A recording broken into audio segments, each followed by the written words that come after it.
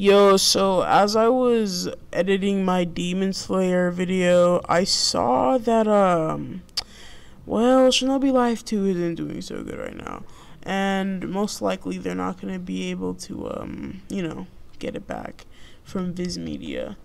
Um, I just wanted to say a few words. First off, a, um, RELL Games, we're here for you. We're going to support you no matter what.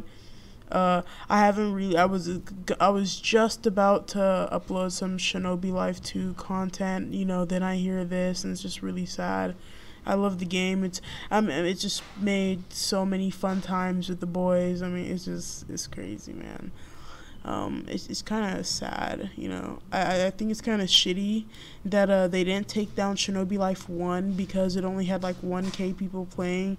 And just because Shinobi Life 2 had like 100k members on average per day, it's just like, or constantly, I mean, you know. They didn't, they, they, they you know, just decided to take it down because it's doing so well. that's, that's kind of shitty. Um, I don't know. I just I just wanted to come on here and just say I, I feel bad, but we're we're we're here with you. Um, stay strong, RELL Games, and uh, yeah, hopefully Shinobi Life Two goes back up because I have a lot of really good com- content that I want to share with you guys. Um, again, to RELL Games, thank you so much for this amazing creation um, you've made. I mean, it, the game hasn't been up for that long, and yet it feels like it's been up for forever. It's just, just great times. We've played hours on that game, grinding gens and stuff like that. There's no other game on Roblox that's been this fun in the anime community.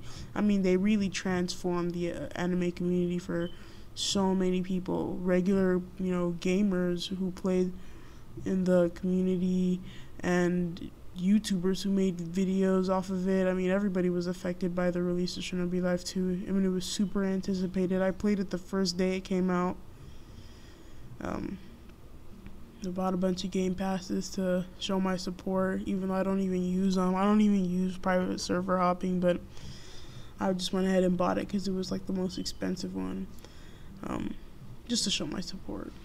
So, yeah just wanted to say a few words on that. Um, rest in peace.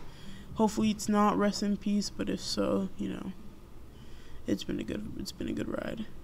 Um, though I'm really hoping that it you know goes back up the next day or so, but who knows? We'll see. Anyways, um, thank you so much, um, Games, for all the fun memories you've given us, and uh, you guys have a good one. Stay tuned for my next video.